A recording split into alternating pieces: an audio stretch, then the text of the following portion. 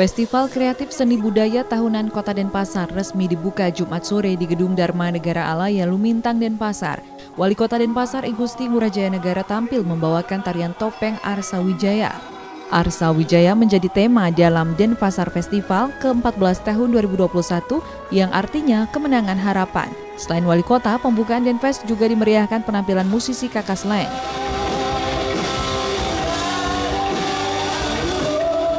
Dengan kembali digelarnya Denfest di tengah pandemi COVID-19 ini menjadikan awal kebangkitan para seniman, kreator, budayawan, hingga pelaku UMKM untuk tetap berkreasi dan terus berinovasi.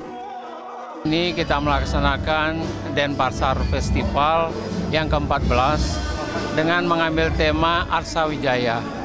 Sebenarnya spirit yang kita ambil itu adalah ingin memenangkan harapan. Karena kita sudah dua tahun menghadapi kasus pandemi COVID, yang mana semua ruang gerak kehidupan kita sangat terbatas dan juga ekonomi terpuruk di Denpasar secara khususnya di Bali dan secara nasional secara umum. Nah mudah-mudahan Denpasar Festival ini yang sebelumnya juga kami hadirkan dengan The Youth Festival memberikan sedikit motivasi kepada para pelaku seniman, budayawan, musisi, dan seluruh kreator dan UMKM juga bisa tetap eksis, berinovasi, berkreativitas walaupun masa pandemi COVID-19 ini. Kita harus tetap bangkit dari keterpurukan ini. Mari kita membangun soliditas, semangat kerjasama dengan konsep Wasudewam Kutumbakam. Mudah-mudahan pandemi COVID ini cepat berlalu, Bali cepat pulih dan pasar cepat pulih sehingga kita bisa bersama-sama untuk, untuk melaksanakan swadharma kita masing-masing. Salah satu musisi ibu kota Jakarta juga turut tampil memberiakan acara pembukaan Denpasar Festival ke-14.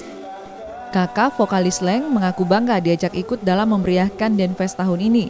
Selain dapat menghibur masyarakat di tengah pandemi, Kakak Sleng berharap perekonomian Bali cepat bisa bangkit dengan digelarnya kembali Denpasar Festival. Ya, saya support ya. Mudah-mudahan dengan apa dengan jalan lagi Denpasar Fest ini nambah semangat uh, semua semua warga di Denpasar dan Bali gitu loh. Kita sebetulnya bisa bikin acara dengan prokes yang yang ketat, bisa bikin acara tetap meriah gitu loh, aman gitu kan.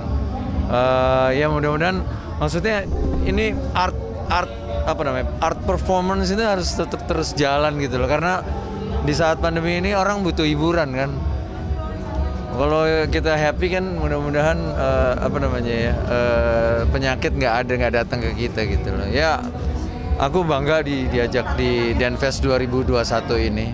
Mudah-mudahan Bali kembali uh, bergejolak ekonomi dan masyarakatnya juga semangat lagi. Gitu. Denpasar Festival akan berlangsung dari tanggal 10 hingga 23 Desember 2021. Event yang biasanya digelar di titik 0 km kota Denpasar kali ini digelar di beberapa tempat seperti Gedung Dharma Negara Alaya, Plaza Pasar Badung hingga Pantai Mertasari Muntik Siokan Sanur. Sebaran lokasi ini untuk membatasi munculnya kerumunan yang rentan dalam masa pandemi. Komang Suarbawa, Kompas TV dan Pasar Bali.